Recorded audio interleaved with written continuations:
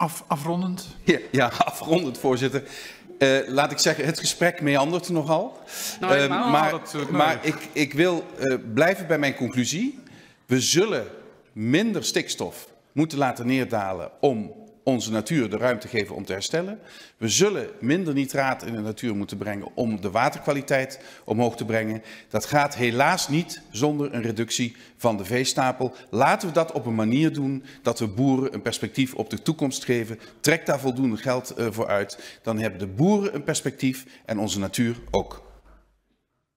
Voorzitter, ja, ik, ga het, ik ga dan nog een keer uh, zeggen. En nu op, nu op het gebied van stikstof.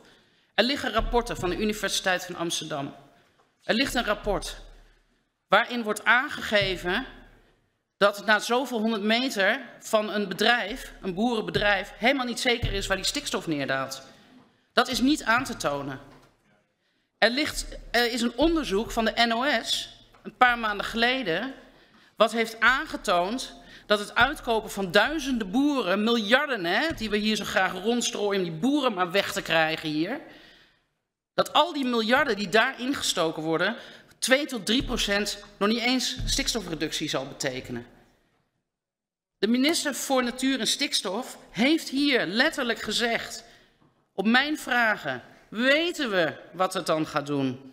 Weten we wat er dan gebeurt? Weten we dat dat gaat helpen? Nee, was het antwoord. Dat weten we niet. En er komen straks ook nog klimaatmaatregelen aan. Hebben we ook vragen over gesteld. Weten we wat die maatregelen gaan doen? Weten we dat dat gaat helpen?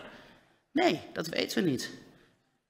De, de minister van uh, Klimaat, de heer Jette, die heeft hier wel gezegd dat alles wat wij doen, al die miljarden die we uitgeven, dat het uh, 0,00036 graden opwarming van aarde uh, gaat uh, helpen. Nou, ik kan u vertellen, als ik onder de douche sta en ik zet mijn kraan 0,000036 graden warm of kouder, dan merk ik niks van hoor. En wij gaan hier wel rigoureuze maatregelen treffen. Rigoureuze maatregelen om die boeren weg te halen hier. En we weten niet wat het gevolg is. En ik weet wel wat het gevolg is. Dat kan ik in ieder geval zeker weten. Het landschapsbeheer gaat niet meer. Ik zou graag nog even mijn zin willen afmaken, voorzitter. Het, het woord is aan mevrouw Van der Plas.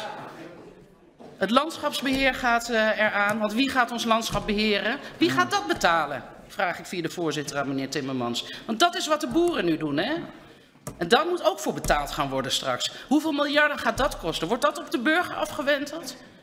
En al die boerderijen die ook een agrarische kinderopvang hebben of een zorgboerderij hebben, die ook weggaan.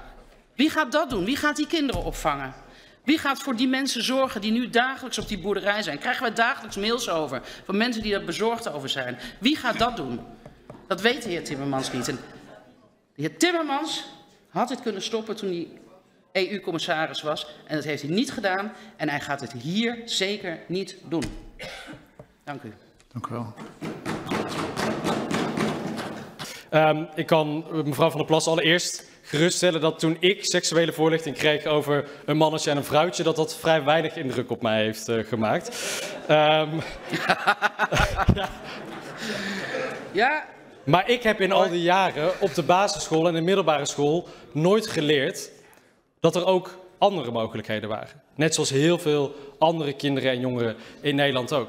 En als je geen goede seksuele voorlichting krijgt, dan kan dat gewoon leiden tot hele kwetsbare en onveilige situaties. Als je, zoals in dit coalitieakkoord staat, gaat bezuinigen op preventie en de GGD's, dan betekent dat dat kwetsbare groepen die vaker in seksueel onveilige situaties terechtkomen, daar de komende jaren minder hulp voor kunnen gaan krijgen. En ik wil toch wel één ding heel duidelijk maken, voorzitter. Het is een fabeltje dat we kinderen van de leeftijd 5 en 6 dingen leren die ze niet horen te leren.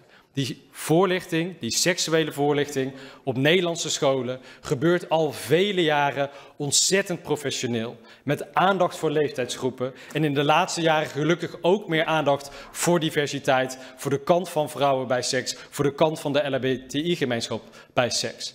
En door dat ene zinnetje op te schrijven heeft u toch geïnsinueerd alsof er een heleboel foute dingen gaande zijn in Nederland.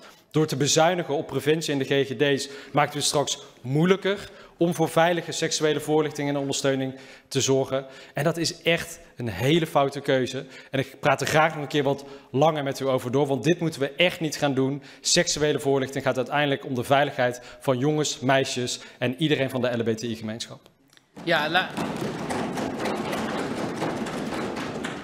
ja, laat ik eh, vooropstellen en wel duidelijk zijn ehm, dat ik het niet tegen ben dat kinderen leren dat ook mannen hè, samen kunnen zijn of dat vrouwen samen kunnen zijn. Dat, dat heb ik nooit gezegd, dat, dat staat daar ook niet in, natuurlijk niet. Natuurlijk is dat dat vind ik normaal, dat kinderen dat leren. Waar ik het over heb, is de expliciete explicietheid eh, van zaken. Die krijgen wij gewoon terug van ouders. We kri- we krijgen gewoon lesjes toegestuurd wat, daar, eh, wat daarin staat. Dat gebeurt gewoon. Ik kan de heer Jetten wel zeggen dat het niet zo is, maar dat gebeurt gewoon wel. En dat is wat wij niet willen. En ehm, de hele letterbak, zoals eh, we... Ik heb gezien dat er inmiddels ook een A bij is gekomen, LHBTIQA... Ik, sorry, maar daar ben ik misschien te onwetend voor, maar ik heb geen idee wat er A voor staat. Ehm, jongens, laten we het nou gewoon behapbaar houden voor de leeftijdsgroep, want dat staat er ook in, dat het toegesneden is op de leeftijdsgroep op de basisschool. En, ehm, en laten we al die gekkigheid die er, die er verder bij zit, Ja. eh, zoals ik die toen straks heb beschreven, laten we dat gewoon even Kunt u terug naar uw tekst, dan kunt u af.